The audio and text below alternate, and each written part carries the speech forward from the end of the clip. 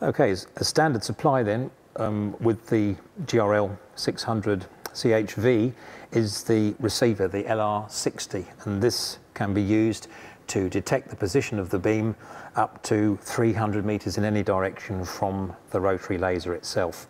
It's got a big 125 millimeter detection zone at the front here. Um, on-off button, of course, self-explanatory. You've got uh, possibility of increasing or decreasing or switching off the, the beeping sound depending on where you're working. If you're out on site, of course, you need it a bit louder than if you're working indoors. And that's just pressing this speaker button here or, or mute. Uh, it's possible to enter menus here to change the indication on the screen from millimeter to inches. You can adjust the sensitivity of the receiver so that uh, you can um, go from half a millimeter right up to five millimeters, um, where accuracy may not be quite so important for some applications. It makes it then easier to uh, position the receiver and find the beam reliably.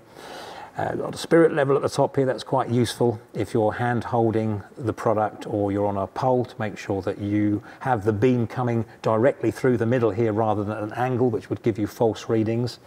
Uh, on the flip side here, you've got uh, a hanging hook so you could literally put that on a screw or a nail if uh, the job um, requires that. You've got magnets here, so if it's a metal structure you're putting the receiver on, these strong neodymium magnets will uh, hold the receiver in place. And you can see on the back, of course, is the usual uh, double up display, mimic display of what's happening on the front, because quite often you're viewing this from behind so you don't cast a shadow and stop the laser from finding the receiver. Battery compartment here, and um, that's about it really for the LR60.